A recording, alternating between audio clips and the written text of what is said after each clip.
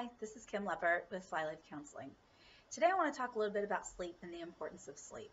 I have this funny little analogy that I use, and maybe it sounds silly to some of you, but I love it, um, about sleep and how it helps clear our mind.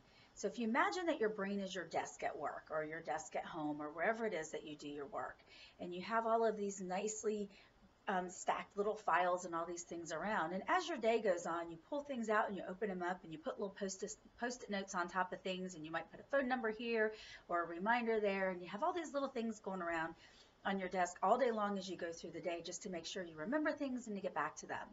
And at the end of the day, if you just take a minute at your desk and you put things away and you finish filing that post-it note or you put that file back where it was and you clear your desk every day, the next day when you come into your desk, you have a very organized workspace. And so what you're going to do that day is you're going to add on and you're going to add on and then you're going to clear your desk at the end of the day and that's kind of a healthy practice. If you're somebody with a lot of clutter, what you end up doing is putting notes upon notes upon notes and then when you need to find something, you have to dig underneath and dig underneath and find what you're looking for and it gets frustrating sometimes. Imagine that your brain is that desk and that at night these I always say these little elves come in and they clear your desk for you. Although it would be great if they came and cleared my desk in my office at the end of the day. We don't get that, but our brain has a way of clearing off its desk every night when we go to sleep. So when we wake up in the morning, we have this clear-headed thinking, and we with a good night's sleep, we actually think more logically.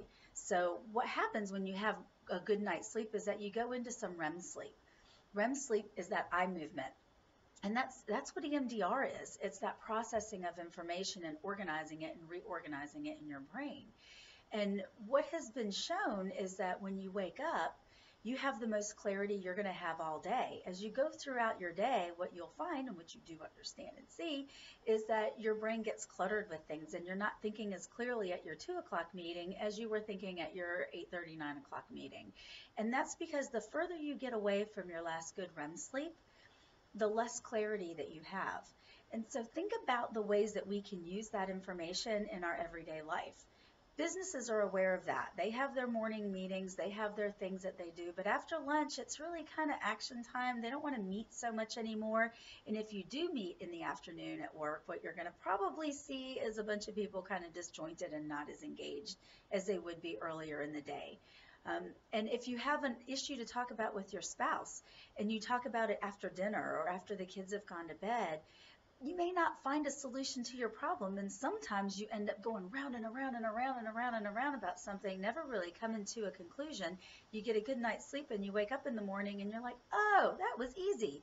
Honey, let's just do this. And the other person goes, You're right. You know, why did I get so upset last night? Let's talk about that after the kids go to bed tonight then you rehash the thing the same way you did the day before because you still don't have that clarity.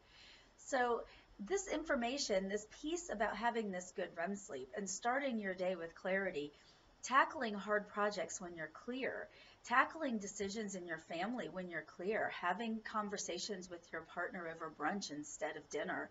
All of these things are really scientifically proven to be helpful we don't want to stay up all night hashing something out out with our partner that when we wake up the next day we know that we're just going to feel bad about or we're going to find this easy solution that if we'd have just slept on it we would have the solution anyway um, so keep that in mind just a little tidbit there get some good night's sleep um, really try to focus on a sleep routine. Go to bed at the same time if you can. Wake up at the same time if you can, even on the weekends. Uh, try not to drink a lot of alcohol at night because that disrupts your sleep. It might feel like you're getting good sleep, but you're really not. Um, and, and so try to turn off those electronics about 30 minutes before you go to bed and just kind of set the stage for sleep in your room. I think that's really super important. Um, and make sure you get that sleep let your brain heal, let your brain rest, and then find that clarity in the morning.